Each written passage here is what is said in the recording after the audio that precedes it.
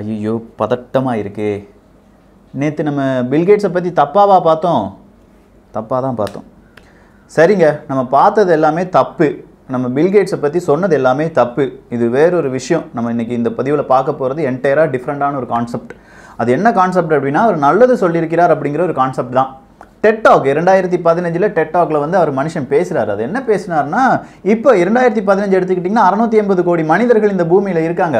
இப்படியே நம்ம போனால் ஒரு தொள்ளாயிரம் கோடி மனிதர்கள் வந்துரும். ஸோ கரெக்டாக நம்ம இந்த ஊசியெல்லாம் போட்டு வேக்சினேஷன்லாம் போட்டோம்னா ஒரு பத்துலேருந்து பதினைந்து சதவீத மனிதர்களை பாப்புலேஷன் க்ரோத்தை டீபாப்புலேஷன் செய்யலாம் அப்படின்னு சொல்லியிருந்தார். அந்த க்ரோத்தை கட்டுப்படுத்தலாம் அப்படின்னு சொல்லியிருந்தார். ஆனால் அதுக்கும் அவர் இந்த அக்ரிகல்ச்சரில் இன்வெஸ்ட் பண்ணுறதுக்கும் ஏதாவது சம்மந்தம் இருக்கிறதா அப்படின்னு கேட்டால் ஏதோ ஒன்று இடிக்குதில்ல. ஸோ கொஞ்சம் விஷயங்கள் பார்க்கலாம். அந்த விஷயங்களை கேட்கும்போது இல்லாட்டி இதெல்லாம் ஃபுல்லாக இந்த வீ வீடியோ ஃபுல்லாக பார்த்து முடிக்கும்போது உங்களுக்கு கோபம் வந்தால் அதுக்கு நான் பொறுப்பு கிடையாது. அன்பு தமிழஞ்சங்களுக்கு தமிழ் பொக்கிஷத்தின் வணக்கங்கள்.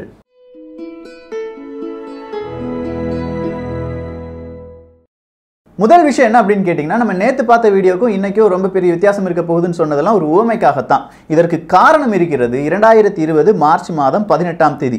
இந்த வருடம் மார்ச் மாதம் பதினெட்டாம் தேதி ஒரு சயின்ஸ் பேப்பர் ரொம்ப பெரிய ரிசர்ச் பேப்பர் வெளியில் வருகிறது. நேச்சர் பிளான்ட் என்கிற ஒரு தளத்தில் தான் அந்த சயின்ஸ் பேப்பரில் என்ன சொல்லியிருக்காங்கன்னா இந்தியாவில் இருக்கும் பிடி காட்டன் ஒன்று இருக்குங்க. அதாவது ஜெனட்டிக்கலி மோடிஃபைடு காட்டன் நம்ம பருத்தி விதை அப்படின்னு சொல்கிறோம் பாருங்கள் இந்த பருத்தி விதையை இரண்டாயிரத்தி ஆறுக்கு பிறகு நம்ம அதை தான் யூஸ் பண்ணிகிட்ருக்கோம் இரண்டாயிரத்தி மூணுலேருந்தே நம்ம யூஸ் பண்ணிகிட்ருக்கோம் இருக்கோம் அந்த விதை வந்து ரொம்ப பெரிய அளவில் விளைச்சலை தரவில்லை. விவசாயிகளுக்கு கூடுதலான பண சுமையையும் கடனையும் தான் கூட்டி தருகிறது அப்படிங்கிற மாதிரியான ஒரு பேப்பர் வெளியில் வந்தது. அந்த பேப்பர்ல இரண்டு ஆதர் இருந்தாங்க. ஒருவருடைய பெயர் கேஷவ் ஆர் கிரந்தி என்பவரும் இன்னொருடைய பெயர் கிளன் டேவிஸ் ஸ்டோன் என்பவரும் தான். இரண்டு நாட்களுக்கு முன்னாடி இந்த கிரந்தி அப்படிங்கிறவரை பார்த்தோம் பாருங்க. அவர் மறுப்பு தெரிவித்து இருக்கிறார். அந்த பேப்பர்ல மூன்று விதமான மிஸ்கன்செப்ஷன் இருந்திருக்கிறது. அது என்ன என்று கேட்டால் பிடி காட்டன் விதைகளால் எந்த விதத்திலும் பாதிப்பு கிடையாது. உங்களுக்கு உண்மையான விளைச்சலை அதிகரிக்க வேண்டும் என்றால் நீங்கள் பிடி காட்டனை தான் உபயோகிக்க வேண்டும் உபயோகிக்க வேண்டும் உபயோகிக்க வேண்டும் அப்படின்னு சொல்லி முடிச்சிட்டார். ஸோ மார்ச் மாதம் பதினெட்டாம் தேதி வந்த ரிசர்ச் பேப்பரை ஒரு மாதத்திற்குள் அடுத்தபடியாக அதில் தப்பான சில தகவல்களை தந்துவிட்டோம் என்று சொல்லி அதே ஆதர் சொல்றாருன்னா எவ்வளோ பெரிய இன்ஃப்ளூயன்ஸ் இதுக்கு பின்னாடி இருந்திருக்குன்னு கொஞ்சம் யோசிச்சு பாருங்க. நார்மலாக கேட்குறவங்களுக்கு என்னடா பிடி காட்டன் சொல்றியே இதில் என்ன ஒரு வித்தியாசம் இருக்கு அப்படின்னு கேட்டிங்கன்னா இந்தியாவில் தொண்ணூறு சதவீதம் பருத்தி விதைகள் இந்த பிடி காட்டன் என்கிற பருத்தி விதை தான். பருத்தி விதை அப்படின்னு சொல்லும்போது ஒன் வேர்ல்டு ஆர்டருக்கு அப்படியே வாங்க. என்ன ஒன் வேர்ல்டு ஆர்டர்னா என்ன? ஒருத்தன் சொல்கிறத எல்லாருமே கேட்கணும். அதுதானே ஒன் வேர்ல்டு ஆர்டர் ஃபுட்டு சாப்பாடு இருக்குது பார்த்தீங்களா இதில் உணவுச் சங்கிலி அப்படிங்கிற ஒரு சங்கிலி இருக்குது இந்த சங்கிலியின் தொடக்கம் என்ன தெரியுமா? விதை என்பது தான் சாதாரணமாக நம்ம பார்க்குற ஒரு விதை தான் அந்த விதை இல்லை என்றால் உணவுச் சங்கிலி என்பதே இருக்காது. ஸோ அந்த விதையை ஒருத்தன் கட்டுப்படுத்தி விட்டால் இந்த உலகத்துக்கு தேவையான விதையை நான் மட்டுமே தருவேன் என்று சொன்னால் அதுவும் ஒன் வேர்ல்டு ஆர்டர் தானே? அப்படி சொல்ற ஒரு நிறுவனம் இருக்கிறதா என்று கேட்டால் இருக்கிறதே. மான்சாண்டோ என்கிற ஒரு நிறுவனம் தான் மான்சாண்டோ இன்னைக்கு உங்களுடைய ஹோம்ஒர்க் இந்த மான்சாண்டோ தான். இதை பேயர் அப்படின்னும் சொல்லுவாங்க. பேயர் வந்து இரண்டாயிரத்தி பதினெட்டில் இதை அக்யூர் பண்ணிட்டாங்க. யாரா இந்த மான்சாண்டோ அப்படிங்கிற ஒரு நிறுவனத்தை. ஆனால் நம்ம மான்சாண்டோ என்பதை மட்டும் பார்த்தால் போதும். அதே மாதிரி கார்கில் அப்படிங்கிற ஒரு நிறுவனத்தை பற்றியும் நாம் தெரிந்து கொள்ள வேண்டும். சிஏஆர்ஜிஐ டபுள் எல் இதான் கார்கில் அப்படிங்கிற ஒரு நிறுவனம். இந்த மான்சாண்டோ தான் கூடுதலாக அதாவது அமெரிக்காவில் விளைவிக்கப்படும் தொண்ணூத்தி இரண்டு சதவீதமான மக்காச்சோளத்தினுடைய விதையை கொடுப்பது மான்சாண்டோ என்கிற நிறுவனம் தான். அங்க விளைவிக்கிற சோயாபீன்ஸ் இருக்கு பாருங்க அதனுடைய விதையை கொடுப்பதும் இந்த மான்சாண்டோ என்கிற நிறுவனம் தான். நீங்க பார்க்க போனா இந்த உலகத்துல பல நாடுகளுக்கும் விதைகளை ஏற்றுமதி செய்வது மட்டுமே மான்சாண்டாவினுடைய வேலை. அந்த விதைகள் எல்லாமே ஜெனட்டிக்கலி மோடிஃபைடு விதைகளாக இருக்கும். ஸோ ஜெனட்டிக்கலி மோடிஃபைடு விதை மான்சாண்டோங்கிற மான்சாண்டோவுக்கும் பில்கேட்ஸுக்கும் என்னடா சம்மந்தம் அப்படின்னு கேட்டால் மான்சாண்டாவினுடைய ரொம்ப பெரிய ஷேர் பங்குகளை வாங்கி குவித்திருந்தார். ஒரு காலகட்டத்தில் குவித்திருந்தார் நம்ம பில்கேட்ஸ் அவர்கள். அவர் மட்டுமா அது மட்டுமா? கார்கில் என்கிற ஒரு நிறுவனத்திலும் வாங்கி குவித்திருந்தார். இந்த இரண்டு நிறுவனங்கள் தான் உலகளவில் விதைகளுடைய தேவையை பூர்த்தி செய்கிறது. ஆயிரத்தி தொள்ளாயிரத்தி தொண்ணூற்றி எட்டு இரண்டாயிரம். இந்த ஒரு காலகட்டத்தில் மான்சாண்டோ நிறுவனம் இந்தியாவுக்கு வருது. பிடி காட்டனை நான் இன்ட்ரடியூஸ் பண்ணுறேன் நீ அந்த விதையை வாங்கிக்கோன்னு சொல்கிறான் இந்தியாவில் ரொம்ப விதமான மறுப்புகள் எல்லாருமே எதிர்ப்பு தெரிவிக்கிறாங்க. ஏன்னா ஜெனட்டிக்கலி மோடிஃபைடு விதை எங்கள் நாட்டில் வேண்டாங்கிறான். இவன் கண்டிப்பாக நீ அதை செஞ்சே ஆகணும் அப்படின்னு சொல்லி ரொம்ப பெரிய ப்ரெஷர் தரான். வேறு வழியே இல்லாமல் இரண்டாயிரத்தி மூணில் நம்மளும் அனுமதி கொடுத்துட்றோம். பிடி காட்டன் என்பது நம்ம நாட்டுக்கு வருது. இங்கே இருக்கிற ஏழை விவசாயிகளிடம் சில விதமான ஆசை வார்த்தைகள் கூறப்படுகிறது. ஒருத்தன் தப்பு செய்ய போறான் பணம் சம்பாதிக்க போகிறான்னா முதலில் உன்னுடைய ஆசையை தூண்டுவான். அந்த ஆசையை அவன் தூண்டுகிறான். இது மேஜிக் விதைகள். இதை நீ உன் விளைநிலங்களில் போட்டால் நிச்சயமாக நீ இப்போது ஈல்டு. இவ்வளோ விளைச்சலுக்கு பதிலாக மூன்று மடங்கு விளைச்சலை எடுக்கலாம் அப்படின்னு சொல்கிறான் நம்ம விவசாயிகள் அநியாயத்துக்கு இந்த விதைகளை வாங்கி நம்ம மண்ணில் போட்டு விளைவிக்கிறார்கள். அப்படி விளைவித்த பிறகுதான் தெரிகிறது இது இது கூடுதலாக தண்ணீரை உறிஞ்சி எடுக்கிறது என்று. ஆனால் பல விவசாயிகளும் கடன் வாங்கி ஏன்னா மேஜிக் விதைன்னு சொல்லிட்டான் நிறைய விளைச்சல் வரும்னு சொல்லிட்டானே கடன் வாங்கி எல்லாரும் போடுறாங்க. ரொம்ப பேருக்கு இழப்பு வருது. இரண்டாயிரத்தி ஆறில் இதுக்கு அடுத்த வேர்ஷன் வருது. Version two point zero Monsanto BT cotton version two point zero வருது. மறுபடியும் விளைச்சலில் ரொம்ப பெரிய வீழ்ச்சி விவசாயிகளுக்கு ரொம்ப பெரிய கவலைகள் நிறைய விவசாயிகள் இறந்து விடுகிறார்கள். நம்மளாம் நினச்சிட்ருக்கோம் இந்த விவசாயிகள் இறந்து போகிறதுக்கெலாம் காரணம் இயற்கை மழை இல்லை அப்படின்னு சொல்லி கிடையாது. இங்கே நாம் செய்கிற ஏதோ விதமான தப்பு. யாரையெல்லாமோ நம்பி இந்த நாட்டினுடைய விளை பொருட்களையும் விளை நிலங்களையும் அடக வைத்து விட்டோம் என்பதை நாம் மறந்துவிடக்கூடாது இன்னைக்கு மான்சாண்டோ அப்படிங்கிறவன் கொடுக்கிற விதையை நம்பி மட்டுமே நம்முடைய பருத்தி வியாபாரம் நடைபெற்று கொண்டிருக்கிறது. இந்தியாவில் மழை இல்லை தண்ணீர் தட்டுப்பாடு இல்லைன்னு சொன்னால் அதுக்கு காரணம் இங்கே இருக்கிற இந்த விதைகளில் ஏற்பட்ட மாற்றம்தான். ஸோ இந்த மாற்றம் மட்டுமே இருக்குமா அப்படின்னு கேட்டால் சரி உங்களுக்கு ஒரு டவுட் இருக்கும். நான் சொல்கிறதுல என்னெல்லாமோ பிரச்சனைகள் இருப்பதாக உங்களுக்கு சில வேலைகளில் தோன்றலாம். நேர ஆப்பிரிக்காவுக்கு வாங்குங்க. இரண்டாயிரம் அப்படிங்கிற ஒரு வருடத்தில் தான் கேட்ஸ் அவர்கள் அவங்களுடைய ஃபவுண்டேஷன் அறக்கட்டளையை தொடங்குகிறார். அப்படி தொடங்கின பிறகு திடீர்னு உகாண்டாவில் பார்த்தா இரண்டாயிரத்தி ஒன்றாவது வருடம்.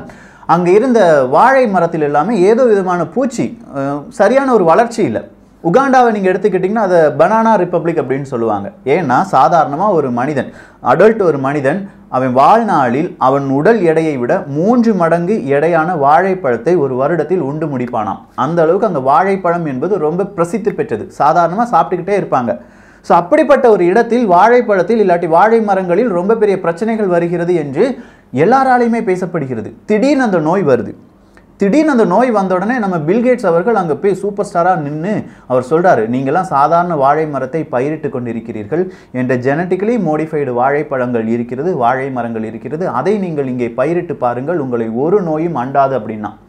அவங்களும் இப்போ எல்லாருமே என்ன செஞ்சாங்க? ஜெனட்டிக்கலி மோடிஃபைடு வாழை மரத்தை வாங்கி வைத்தார்கள். அதற்காகவே உகாண்டாவில் சில சட்ட திருத்தங்கள் ஏற்படுத்தப்பட்டது. ஏன்னா உகாண்டாவை பொறுத்த வரைக்கும் ஜெனட்டிக்கலி மோடிஃபைடு என்கிற அந்த மாதிரி விதைகளை அங்கே பயன்படுத்தக்கூடாது. இந்த விதையை யார் டிஸ்ட்ரிபியூட் பண்ணாங்கன்னா வேர்ல்டு ஃபுட் ப்ரோக்ராம் அப்படின்னு ஒன்று இருக்குது ஐநா சபையின் கீழ் இருக்கும் ஒரு அமைப்பு தான் வேர்ல்டு ஃபுட் ப்ரோக்ராம் இவங்களும் வேர்ல்டு பேங்கும் சேர்ந்து இந்த விதைகளை கொடுக்கிறார்கள். யாரின் சார்பாக கொடுக்கிறார்கள்? கேட்ஸ் ஃபவுண்டேஷன் சார்பாக. அதாவது இவங்களுக்கெல்லாம் ஃபண்டு கொடுத்து கேட்ஸ் ஃபவுண்டேஷன் சொல்கிறாங்க இந்த விதையை அங்கே கொடுங்க மறுபடியும் இந்த வாழை மரங்களை நட்டு வைக்க வேண்டும் என்றால் அங்கிருந்து பயிர்கள் எதுவுமே வரல. நீ இந்த விதையை வாங்கணுங்கிறா எந்த நிறுவனத்தை அங்கே கொண்டு வர வேண்டும் என்று கேட்கிறார்கள்? மான்சாண்டோ என்கிற நிறுவனத்தை அங்கே கொண்டு வர வேண்டும்ங்கிறார் பில்கேட்ஸ் மான்சாண்டோ அங்கே வருது.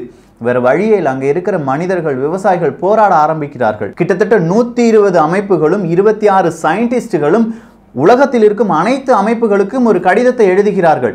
ஜிஎம் பனானாஸ் அப்படின்னு சொல்லுவாங்க. இந்த ஜெனட்டிக்கலி மோடிஃபைடு பனானாவை எங்கள் நாட்டில் ஆப்பிரிக்காவில் குறிப்பாக உகாண்டாவில் வந்து இவங்க என்ன செஞ்சிட்டாங்க? சோதித்து பார்த்து விட்டார்கள். வேற எங்கேயுமே இதை சோதனை செய்யவில்லை. நேரடியாக எங்கள் நாட்டில் இதை சோதனை செய்திருக்கிறார்கள். இதன் காரணமாக பல்வேறு விதமான பிரச்சனைகள் வருவதற்கான வாய்ப்புகள் இருக்குது அப்படின்னு சொல்கிற ஒரு கடிதத்தை எழுதுகிறார்கள். ஆனால் இந்த கடிதத்துக்கு ஏதாவது ரிப்ளை வந்ததா? கிடையாது. ஆனால் இப்போ அந்த இடத்துல ஃபுல்லாக ப்ரைவேட்டைசேஷன் ஆயிடுச்சு எங்கள் உகாண்டாவில் நீங்கள் வாழை மரம் இல்லாட்டி ஏதாவது வாங்க வேண்டும் என்றால் மோன்சாண்டோ இல்லாட்டி இதே மாதிரியான நிறுவனங்களை நம்பி மட்டுமே இருக்க வேண்டும். நேராக நைஜீரியாவுக்கு வாங்க. நைஜீரியாவில் ஒன்றரை கோடி விவசாயிகள் போராடினார்கள். ஏன் தெரியுமா? நைஜீரியாலையும் இதே மாதிரியான நிறைய ஜெனட்டிக்கலி மோடிஃபைட் சீட்ஸை பில்கேட்ஸ் அவர்களுடைய ஃபவுண்டேஷன் அங்கே வந்து தெளித்தது. நாங்கள் உங்களுக்கு உதவி செய்கிறோம் உதவி செய்கிறோம் அப்படிங்கிற பேரில் எல்லாருக்கும் இந்த மாதிரி ஜெனட்டிக்கல் மோடிஃபைடு சீட்ஸை கொடுத்தாங்க. இவங்க சீட்ஸை கொடுத்தாங்க சீட்ஸை கொடுத்தாங்கன்னு சொன்னோன்னே உங்களுக்கு ஒரு டவுட் வரும். அதை எப்படி நேரடியாக வந்து கொடுத்துட முடியும்? ஜெனட்டிக்கலி மோடிஃபைடு சீட்ஸ்னால எந்த ஒரு பிரச்சனையும் கிடையாதுப்பா. சயின்டிஃபிக்லி ப்ரூவ் பண்ணிட்டாங்க. அப்படின்னு சொன்னால் இதை சயின்டிஃபிக்காக ப்ரூவ் பண்ணுறவனே இவனால் ஏற்படுத்தப்பட்ட மனிதர்கள் தான் சயின்டிஸ்ட்டுகள் தான். இதுக்கும் ப்ரூஃப் இருக்குது கிட்டத்தட்ட நானூறு சயின்டிஸ்ட்டை இவங்க விலைக்கு வாங்கியிருக்கிறார்கள். நானூறு சயின்டிஸ்ட் இவங்க. இந்த ஜெனட்டிக்கலி மாடிஃபைடு ஆர்கானிசம் அப்படின்னு சொல்லுவாங்க ஜிஎம்ஓன்னு சொல்லுவாங்க. அதை பற்றி எவனாவது எதிர்த்து பேசினால் என்றால் அவனை வைத்தே அது நல்லது என்று சொல்ல வைக்க வேண்டும். அதற்கான ஒரு உதாரணத்தை தான் இந்த காணொளியின் முதல் தொடக்கத்தில் பார்த்தோம். ஸோ இது எப்படி சாத்தியப்பட்டது அப்படின்னு கேட்டிங்கன்னா இதுக்காக ரெண்டு ப்ரோக்ராமை க்ரியேட் பண்ணுறாங்க எப்படி ஐடி டூ டுவெண்ட்டி அஜெண்டா இருபத்தி ஒன்று இந்த மாதிரியான ப்ராஜெக்ட்ஸ் இருக்கோ அதே மாதிரியான ப்ராஜெக்ட்ஸ் இதற்கு பின்னாலும் இருக்கிறது. அது எந்த யூனிவர்சிட்டி வழியாக செய்யப்படுகிறது என்று கேட்டால் கானல் யூனிவர்சிட்டி வழியாக செய்யப்படுகிறது. இரண்டாயிரத்தி பதினாலாவது வருடம் அலைன்ஸ் ஃபார் சயின்ஸ் என்கிற ஒரு ப்ராஜெக்ட் இனிஷியேட் செய்கிறாங்க இந்த அலைன்ஸ் ஃபார் சயின்ஸ் வழியாகத்தான் நானூறு சயின்டிஸ்ட் என்பவர்கள் இந்த ஜிஎம்ஓக்கு ஆதரவாக சயின்டிஸ்ட் மட்டும் கிடையாது ஜேர்னலிஸ்ட் எழுத்தாளர்கள் எல்லாரையுமே கூப்பிடுறாங்க.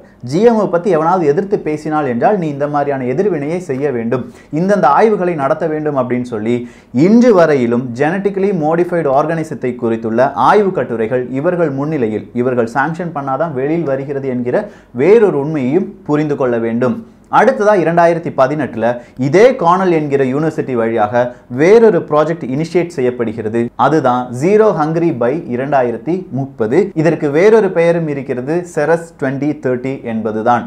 அஜெண்டாலையும் இதே இருபது முப்பது தான். அஜெண்டா இருபது முப்பதுல என்ன நடக்க போகுது அப்படிங்கிறது தான் அஜெண்டா இருபத்தி ஒன்று இருபத்தி ஓராவது நூற்றாண்டில் என்ன நடக்க போகிறது என்பதுதான். இந்த செரஸ் இருபது முப்பதுலையும் என்ன சொல்லியிருக்காங்கன்னா எந்த ஒரு மனிதனும் பசியால் இருக்கக்கூடாது. எல்லா வீட்டிலையும் எல்லா நாட்டிலையும் எல்லா விவசாய நிலங்களிலும் ஜெனட்டிக்கலி மோடிஃபைடு விதைகளை தூவுங்கள்.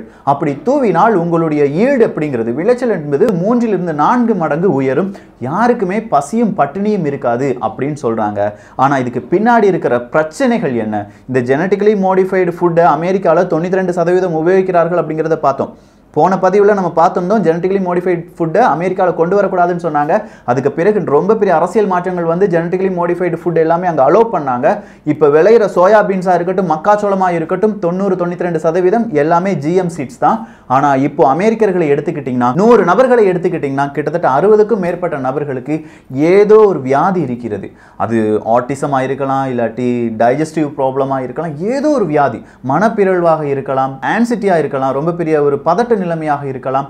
நீங்கள் வேணால் அமெரிக்கர்களை எடுத்து பாருங்களேன். அவங்க அடிக்கடி ஹாஸ்பிட்டல் போவாங்க. இல்லாட்டி இப்படி ஏதாவது டிஸ்கஸ் பண்ணிக்கிட்டே இருப்பாங்க. அதற்கு எல்லாமே காரணம் நம்முடைய உணவு பழக்க வழக்கங்களில் ஏற்பட்ட மாற்றம் என்று சொல்வதை விட விதைகளில் ஏற்பட்ட மாற்றம் என்று சொல்லலாம். இப்படி எல்லாமே ஜெனட்டிகலி மோடிஃபைடு விதைகளாக மாறுகிறது. இதை முழுவதுமாக கவனிப்பது யார் என்று கேட்டால் கேட்ஸ் ஃபவுண்டேஷன் தான். கேட்ஸ் ஃபவுண்டேஷன் இவ்வளவுதான் சொன்னாங்களா? அப்போ இந்த டெட்டாகில் இரண்டாயிரத்தி பதினஞ்சில் அவர் சொன்னதுக்கான அர்த்தம் என்ன? எப்படி இந்த பாப்புலேஷனை குறைக்க போகிறாங்க அப்படின்னு கேட்டிங்கன்னா வேக்சின் போடுறதுனால தான் ஸோ வேக்சின் போட்டு பாப்புலேஷனை குறைக்க முடியுமா என்று கேட்டால் அவர் சொன்ன வேறொரு வார்த்தையை நன்றாக கவனித்துக் கொள்ளுங்கள். ஒரு குடும்பத்தில் மூன்று குழந்தைகள் இருக்கிறது. ஏன் நம்ம மூணு குழந்தைய பெற்றுக்கிறோம் ஒரு குழந்தை செத்து போச்சுன்னா இன்னொரு குழந்தை. இல்லாட்டி ஒரு குழந்தைக்கு ஆதரவாக இன்னொரு குழந்தை இருக்கணும்ல? அப்படிங்கிற காரணத்திற்காகத்தான் நம்ம நிறைய குழந்தைகளை பெற்றுக்கொள்கிறோம். எனவே ஒரு குழந்தையை பெற்று அந்த ஒரு குழந்தைக்கு நிறைய வேக்சினேஷனை போட்டு அதை ஆரோக்கியமாக வைத்து கொண்டோம் என்றால் அந்த ஒரு குடும்பத்தில் அந்த ஒரு குழந்தையே போதுமானது. அப்படின்னா மீதம் இருக்கும் அந்த இரண்டு குழந்தைகளுக்கு வேலை கிடையாது. ஸோ பாப்புலேஷன் அங்கே கண்ட்ரோல் பண்ணப்படுது. அவ்வளோதான் இந்த ஐடியாவில் தான் இவர் சொன்னார். இந்த ஐடியாவை தான் இவர் இம்ப்ளிமெண்ட் பண்ணுறாரா அப்படின்னு கேட்டால் இல்லைங்க. இந்த இம்யூன் சிஸ்டம் அப்படிங்கிற ஒன்று இருக்கு. இந்த இம்யூன் சிஸ்டத்தை டேமேஜ் பண்ணுறதே இந்த ஜெனட்டிக்கலி மோடிஃபைட் சீட்ஸ் தான். இயற்கை அல்லாத எந்த ஒரு பொருளை நாம் உண்டாலும் நம்முடைய உடம்பிற்கு அது ஆகாது. கொஞ்சம் கொஞ்சமாக நம்முடைய இம்யூன் சிஸ்டம் பாதிப்படையும். இந்த இம்யூன் சிஸ்டம் பாதிப்படைவதால் அடுத்ததாக நமக்கு என்ன தேவைப்படுகிறது? மருந்து தேவைப்படுகிறது. ஸோ இந்த இம்யூன் சிஸ்டத்தை பிரேக் பண்ணணும்னா ஒன்று நம்ம உடம்புல மருந்து ஏற்றணும் இம்யூன் சிஸ்டத்தை பிரேக் பண்ணுறதுக்கு இல்லாட்டி இன்க்ரீஸ் பண்ணுறதுக்கு அந்த மருந்து அது வேக்சின் வழியாக இருக்கலாம் இல்லாட்டி இந்த ஜெனட்டிக் மோடிஃபைடு சீட்ஸ் விதைகள் வழியாக இருக்கலாம். இது எல்லாமே நம்ம உடம்பை ரொம்ப பெரிய அளவில் பாதிப்படையும் போது நம்ம ஹாஸ்பிட்டலில் தேடி போக வேண்டியதாக இருக்குது இப்படி நிறைய பிரச்சனைகள் இருக்குது அதெல்லாம் விட்டுருவோம். நமக்கு தெரிஞ்ச ஒரு விஷயத்துக்கு வருவோமே. ஜல்லிக்கட்டு அப்படிங்கிற ஒரு போராட்டத்தை நம்ம நடத்தினோம். இந்த ஜல்லிக்கட்டுக்கும் பில்கேட்ஸுக்கும் என்னைக்காவது ஏதாவது சம்மந்தம் இருக்குமா அப்படின்னு சொல்லி யோசிச்சு பார்த்துருக்கோமா?